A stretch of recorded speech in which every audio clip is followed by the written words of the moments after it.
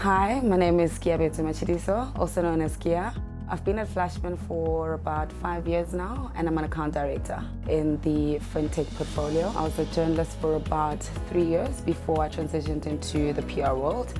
Um, it was great, you know, I feel like I had a bigger vision in terms of like being a journalist but I needed something that would challenge me. Uh, I needed something that would, you know, fulfill who I am, my interests, um, and just enjoy coming to work and um, just having that balance of uh, fulfillment in terms of uh, my job and my career.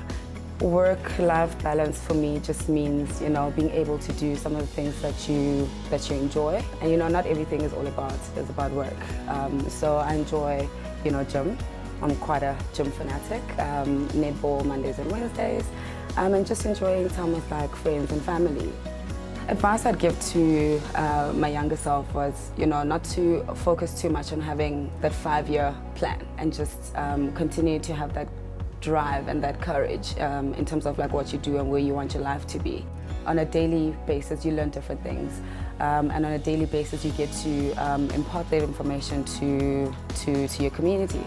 So I think it's always important to share such knowledge um, and to educate as far as you can. I'm proud to be a woman because think about all the things that we're capable of doing. I feel like we're superheroes in our own way. But most importantly, I feel like I'm more proud to be a woman because I don't let my fears, insecurities, or opinions of others cloud my strengths. And I feel like every woman should be proud of being a woman. My name is Natalie D'Amico and I'm a director heading up the brand marketing portfolio and I've been with FleishmanHillard for six and a half years now. My role really is to lead the strategic direction of our clients. Trying to achieve balance is an everyday job. Um, I really do try and plan my day out as effectively and as efficiently as possible. I think it's a conscious effort to focus on what's critical and what's important and what's really going to drive business change or business success. I also try to spend my free time spending quality time, whether that's with my friends, my husband, or with my family, and more importantly, taking a bit of time out for myself to rejuvenate.